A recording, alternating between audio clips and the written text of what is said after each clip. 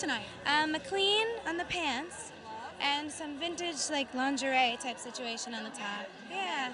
Performing tonight, side to side. How excited are you to jump on stage once again? Are we going to get the whole uh, Cycle thing again? No, we already did that. You know, we're gonna do something a little different this time, but I'm very excited. Um, the song is doing so well. It's a really beautiful thing. Nicki and I are so excited by like how much everybody is really loving the song. So that means a lot. Um, it's nice to have the opportunity to perform it again with so much love around it. It's exciting. And you're balancing the AMAs with hairspray. Yes, oh my God. I was just telling everybody over there how funny it is going from hairspray rehearsals to side to side rehearsals because, like, sorry, I'm trying to speak healthier so that I'm not shouting. Sorry, so my voice, ah, drifting away. Um, it's so weird going from hairspray rehearsals into side to side rehearsals because Penny is so, like, stiff and side to side is so sexy.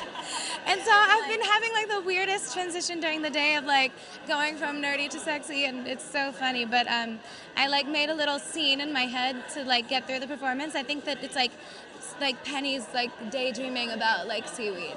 Isn't that funny?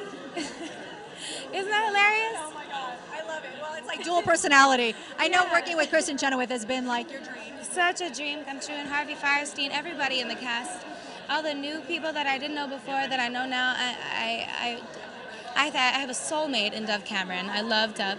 Um, everyone is so gifted and so funny and so kind and so warm. And December 8th is going to be the worst day ever. When I wake up and it's over, I'm gonna literally like jump off a cliff. I don't know what to do.